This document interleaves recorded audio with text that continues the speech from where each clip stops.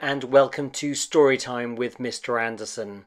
Today we're going to be reading Tom Rabbit, and it's written by Martin Waddell and illustrated by Barbara Firth. One summer evening, Tom Rabbit and Sammy went out to the back field to see the real rabbits.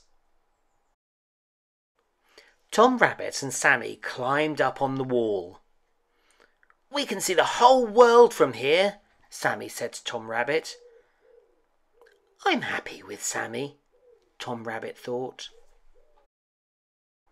Then Harry came by the back field with the cows, and Sammy ran off to help Harry.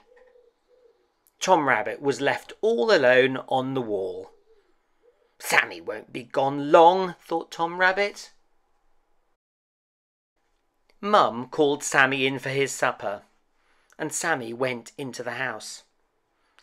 Oh, I hope Sammy comes back, thought Tom Rabbit. The sun set on the field, and the moon rose. I've not seen that before, thought Tom Rabbit. And then, from the bank, at the end of the lane, the wild rabbits came. First one, and then two, and then three, and then four, and then more. Wild rabbits were there, everywhere, everywhere that Tom Rabbit could see. Oh, I wish Sammy was here, thought Tom Rabbit. A rabbit hopped up on the wall. It quivered its nose at Tom Rabbit. It's only a rabbit, the same as I am, thought Tom Rabbit. I'm not scared one bit. The light went on in Sammy's bedroom. Tom Rabbit saw it shine over the field.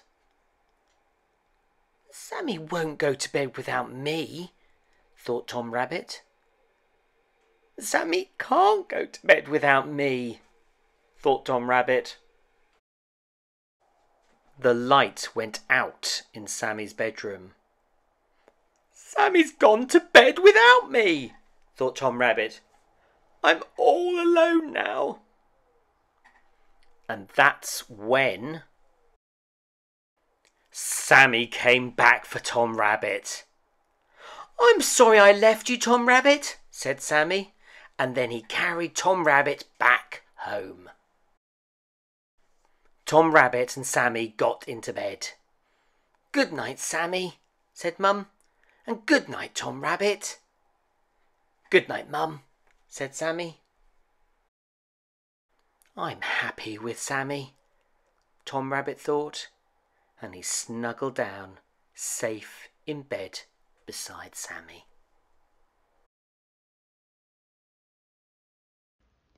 The End. Thank you for listening to today's story. Don't forget to hit the subscribe button and click the bell for notification of new content.